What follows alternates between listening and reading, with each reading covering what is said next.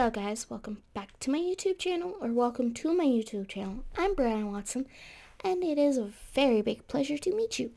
Um, well, I have an update. I also, well, two updates technically. And I've got the mail that I've been waiting since January for. had ordered something that was already pre-existing on the site, and then pre-ordered some things, and they didn't want to they waited to send everything to me, which is fine. I'm happy. Um, er, at least I was.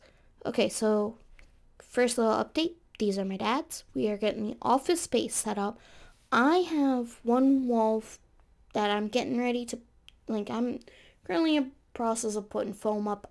It's out of tape. This is my second roll of tape, and there's 788 up, dot, 788 uh, at Walmart. Not sponsored nor affiliated. Um, now onto the big major update. If you haven't noticed, I don't have my cat with me. Um, anybody in my live streams on my like where I'm gaming on my PS5 know that I have a cat.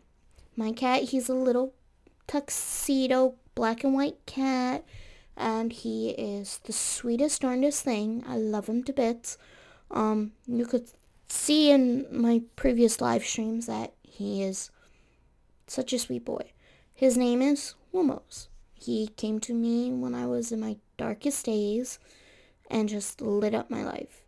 I grew very attached to him and he grew very attached to me even though I, w- I still live with my parents, my mom and my dad.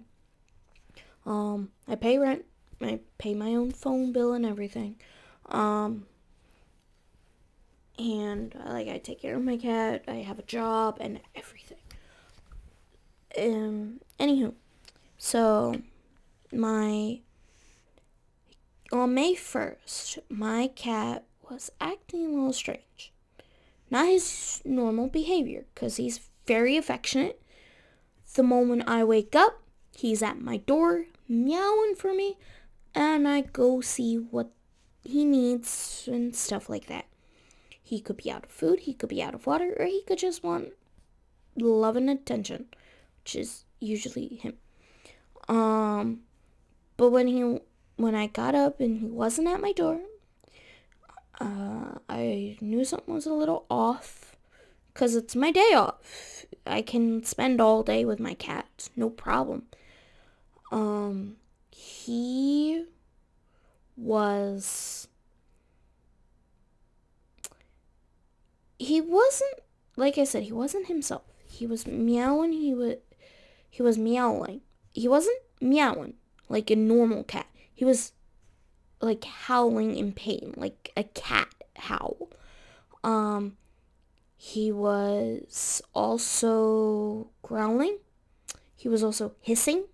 He hissed at me. He hissed at my dad. He hissed at my mom. He doesn't hiss. If he known, like, if I pick him up and hold him too long or give him love, wait, too much love, he'll meow at me and let me know, like, I've had enough and I will put him down and let him be. He wasn't running, he wasn't running around. He wasn't following me around. He wasn't even, um, plopping himself down in the middle of the floor. He was mostly hiding, and that's odd. So after my mom and I had ran a little bit of errands on Wednesday, um, I came home and I couldn't find him. And shook a bag of treats. He didn't come running. Um, when I had looked for him, I found him in Daddy's bed. I also found him a little a little bit curled on the corner of my parents' bed underneath where their blankets are. Like he was on the floor. The blanket was over top of him and he was in a corner curled up. Um and like he wasn't even under the table, he wasn't on the chair. Like the kitchen chairs, he wasn't in the chairs at all. He, and he wasn't even in here. Usually the windows. Well, the window's not open, but usually the curtains will be open, the blinds will be open, and he'll be sitting up at the sill just outside watching birdies, mimicking the little birdies. That's when I knew something was wrong. So my mom and I had ran out, grabbed a pet carrier for from my sister because she has five, six cats in her house. Um, and Lumos didn't go running into the carrier like he would. Like when I first got him uh, neutered and um and got his rabies shots and everything up to date. He didn't go running. I he was on the windowsill in the kitchen cuz where my parents cuz my parents have on the floor the dog Boomer's bowl, the water bowl for the dogs. Dottie has her own separate bowl and Lumos has his own separate water bowl. In the corner here past the dresser is like a little setup area for my cat away from the dogs. It's up high and I usually keep his food there, his own food and stuff like that. Because I have encountered where the dogs would eat Lumos's food. It's not meant for dogs. Anyhow, um, so when I picked him up, because I was gonna try and coax him into the carrier, he was meowing at me. He was in pain, or at least I figured he was in pain at this point. When I picked him up, my whole entire arm was wet. My left arm. Because I usually have him sitting on my left shoulder his, my entire left arm was wet. So I looked on the sill where he was sitting and there was a little bit of blood and like clump of water or something. It wasn't urine, it was blood and water mixed. Panicked. I freaked out. I was sobbing. I was crying. I was so upset. I I didn't know what to do. He was my baby. He's my baby. He will always be my baby. And see and hearing him in pain and seeing him in pain just upset me. So I called my mom because she was outside waiting so we can take Lumos to the animal hospital and stuff like that. Well, um, my mom couldn't understand me. To me, I sounded normal. But to her, I probably was in hysterics, crying, sobbing, and just blubbering. So my mom says she's coming in, and we hung up. She comes in, and I'm freaking out. And I'm telling my mom, there's blood. He's bleeding. I don't know where he's bleeding, but he's bleeding. And so my mom called up my sister. My sister was like, grab a blanket, wrap him up in it, and force him in the carrier. Because his like his paw like he would put his paws on the edges of the carrier and not want to go in. And I was trying to put him head first. So I didn't grab a blanket. I grabbed a towel from my linen closet out there and wrapped him up the best I could. I had to do it like two, three times. I wasn't afraid that he was going to scratch me. I was afraid of hurting him. I've never been once afraid of my cat. Did he scratch me? Yes. But was I scared of him? No, because I know he's not like that. Um, so after that, um, I was able to get him in the carrier and we took him to the nearest pet hospital, which is like 10 miles away less than 10 minutes away. Um, so I get there. I go to the receptionist and I'm like, my cat's bleeding. I don't know where he's bleeding, but he's in pain. He's hissing, he's growling, he's meowing, and I, I don't know what to do. Please, can you help him? I sat in the waiting room for like an hour. I understand that th- there was only one vet and that vet owned the hospital, uh, the pet hospital, and so I was patient. I was rubbing, like he was still in the carrier. I was rubbing the side of the carrier closest to his body, so he knows like I'm here. I love you. I'm gonna keep you safe the best I can. Um, well, it turns out he had a UTI. Yay! That freaked me out so bad. Like, I took care of this cat. He hadn't had a, any sort of urinary problem before. When I heard that, I was like, what did I do wrong? Did I do something wrong? Did I give him the wrong food? Was there a recall on the food and I didn't know about it? Because I try to pay attention to the recalls. Um, but I had to take him home. I couldn't afford all 14 of the prescription pills that they had they initially wanted to give me, but the vet was very kind and gave me at least two pills to take home. Give him one in the morning and one in give him one in the evening and one in the morning. I f- fucked up at I fucked up the first pill. Because mm. I, admittedly, at this point, I was afraid that he would bite me because he was in pain. I didn't know how he would react. Well, he didn't.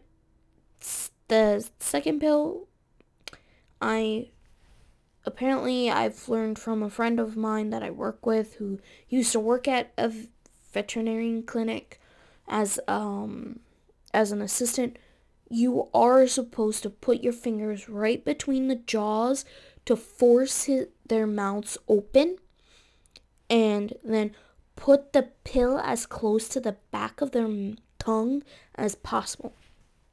Now, I didn't know YouTube video about that.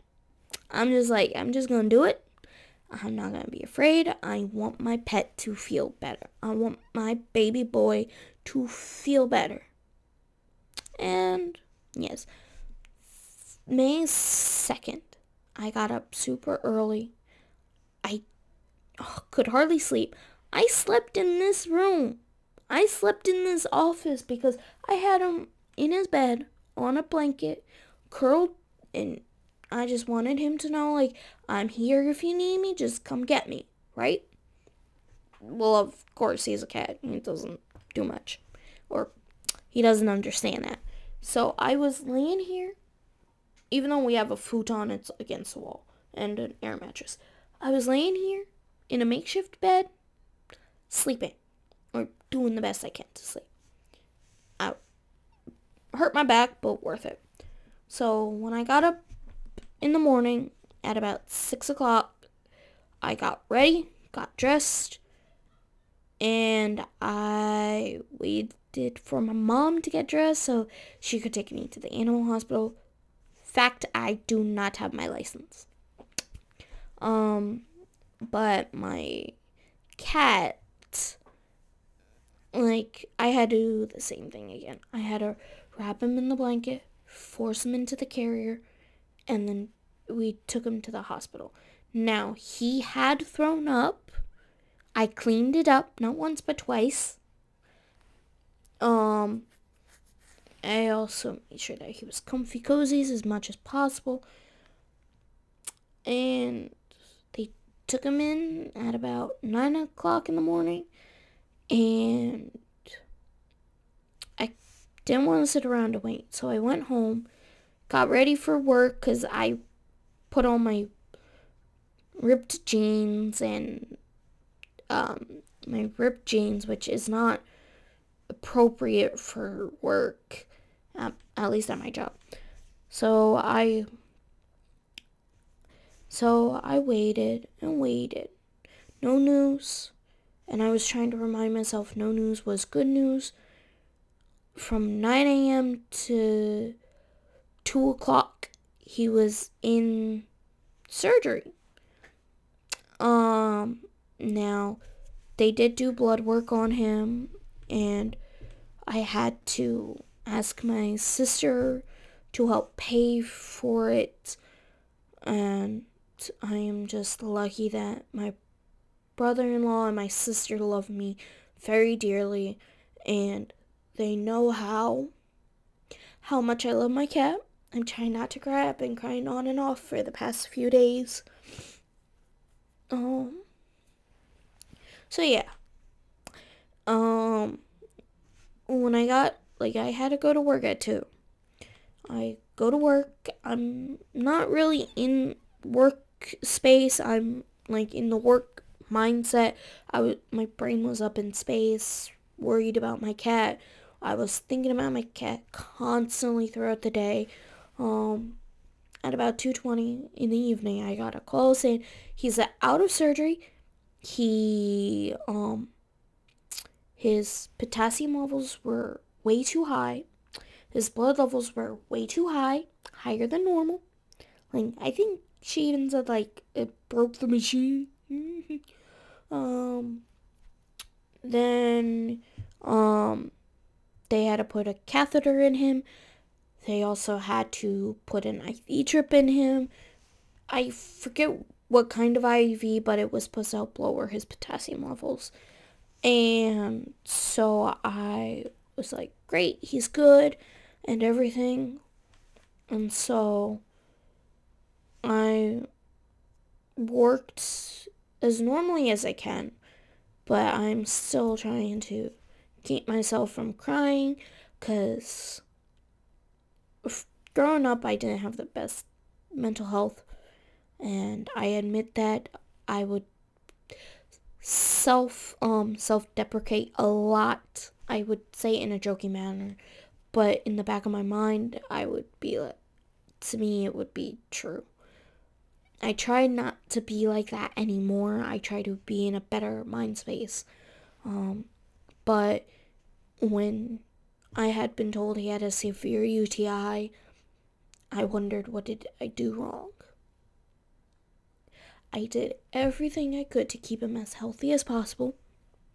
I gave him lots of love, affection, food, water, and like he was abandoned. Of course I'm gonna care for him.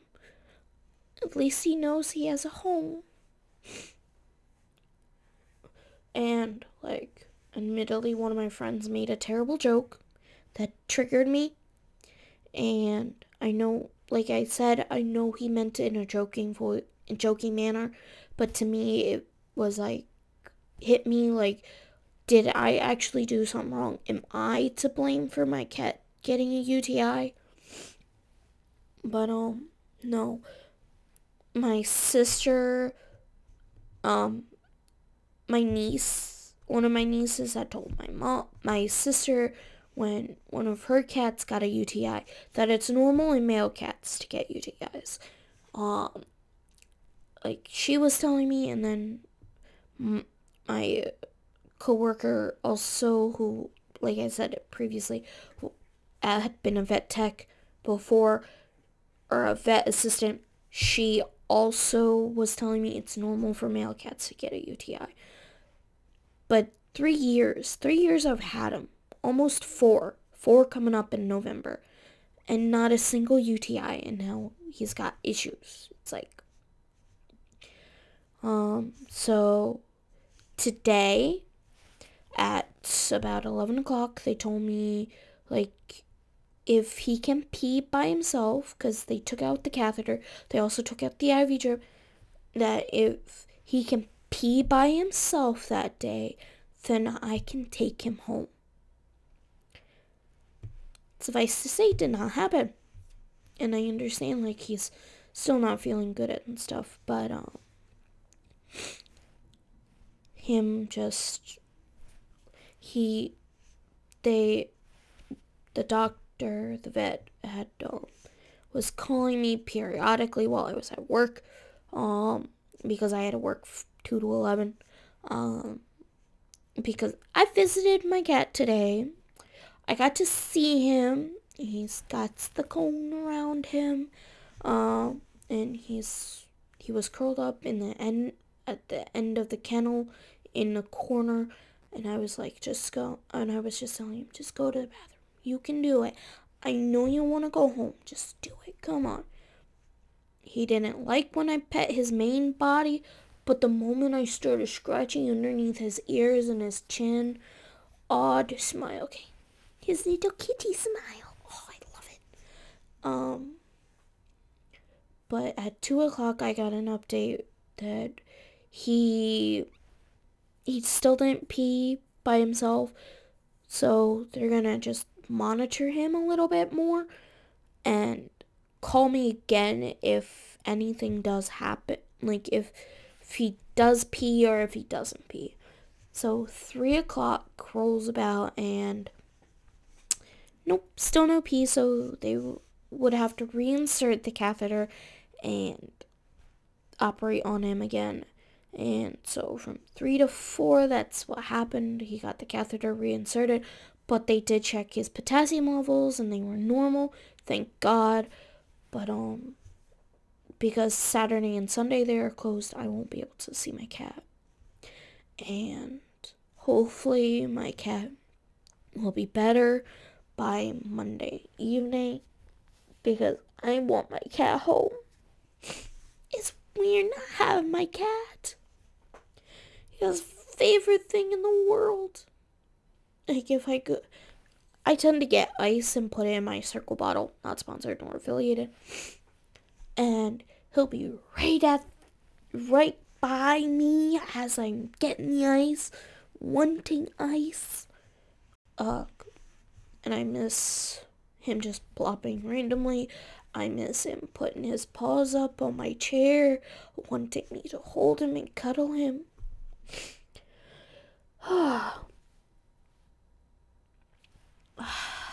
I've been trying not to cry all day. So hopefully he'll be better by Monday. Or at least by tomorrow. But I won't be able to get him till Monday. Uh, so with that update out of the way, I see how long I've been recording. Um, but I'm just gonna do this cute little post. This cute little mail. Alright, I have to move my microphone. So, Helluva Boss and Hazbin Hotel created by VivziePop, who is fantastic. I love her to bits. Sadly, these cartoons are not made for children. Like, not even for Adult Swim. Or Nick at Night. Or Comedy Central. That's how bad they are. Okay, but it's a good kind of bad. Helluva Boss is on YouTube for free, so you guys can go watch it. I'm not sponsored nor affiliated by either companies or by Vivzie. I'm just doing this because I love this show. Shows. Hazbin Hotel and Helluva Boss. Now, they both take place in Hell.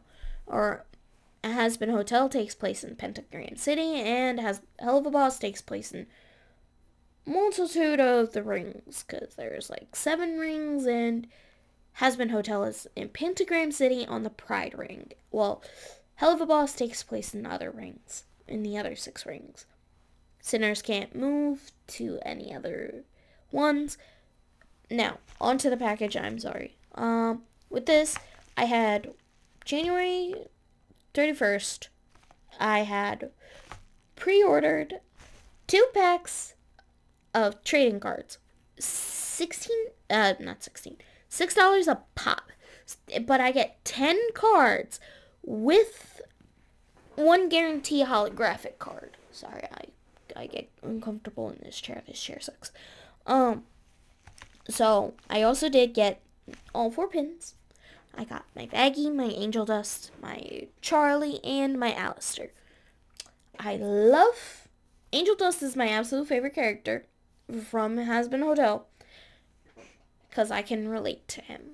Uh, I had a traumatizing past, and it kind of affected me to this present day, and I blame one person and one person only for it. Um, so yeah, with this, I'm going to open it up. I've been, I couldn't, I will admit, when I saw that it was delivered, I couldn't get excited about it because my cat was still at the hospital, but now that... I'm just to do this But now that I'm home and stuff like that, I can get a little bit excited. So, that is my order receipt. So, was expecting them to be all together. Okay, so I'm going to do the trading cards last. Um, but I am going to dig around. I got look at the Vaggie pin. love Vaggie. Vaggie. And I'm a pin collector. I love collecting pins. Let's see what's up next. Oh look, it's Alastor. The radio demon himself. The secret word. My mom makes a great jambalaya. Oh, that's a trading card. Don't want trading cards yet. Okay, so I want this one. Charlie! Um, I identify myself as Niffty when it comes to these characters. Um, mostly because I am chaotic. Which is why I changed my uh, YouTube handle to Quiet Chaos 1996. Uh, which, fun fact, is my birth year. Yay! Um, so last should be Angel Dust. Don't judge. Yeah, he's my favorite. And when I had seen the Hazbin Hotel originally, the pilot on YouTube, I was this is me. okay, so look at these beautiful packs. Like I said, I got two. Now there's supposed to be 10. 10 cards in each pack. And it's first edition. They are sold out on their website. You can sign up for their mailing mailing list to get uh, notified for the next for the second editions, I think. Um, but yeah. So I'm just gonna show all my trash here. So,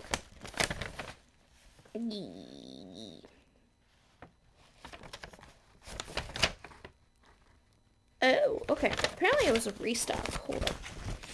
Apparently I got a restock. However, okay, that explains how, um, that explains how some people who had gone to conventions were showing Vivzie and the cast their trading cards. And that explains it, because apparently the ones I have is restock, but they are first edition still. So, without further ado, I'm going to open one. Oh, I'm looking for Angel Dust, Angel Dust Tommy Gun, um, or Squirt Gun, or whatever you want to call it, and Niffty. Niffty is another one, and Charlie.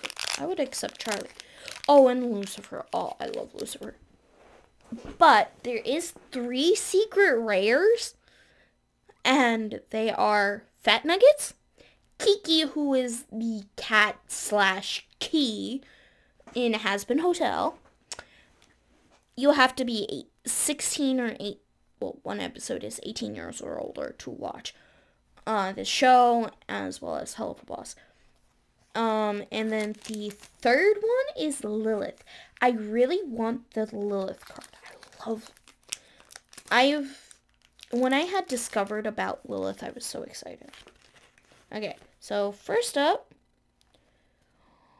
ooh, 18 out of 50. So this is one of the Hazbin hotels, because there is three different hotels. So apparently this one um, spoilers if you haven't seen the show, is the end of episode 8. Now, there is 8 episodes on Amazon Prime, which is where 1 through 8 is, and then the pilot is on, um, is on, uh, YouTube. So, let's see what we get for number... Ooh! Okay. Apparently, I got the second, uh, Hazbin Hotel. Now, this is the one that's from the pilot and from most of the show. Um, that's cool. I got two Hazbin Hotels. Nice. Okay, so next up.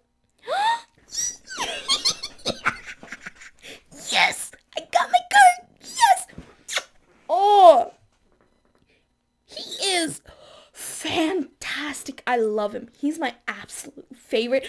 And the fact I pulled him, yes, I love. Oh, he's okay. Here's the here's the holographic.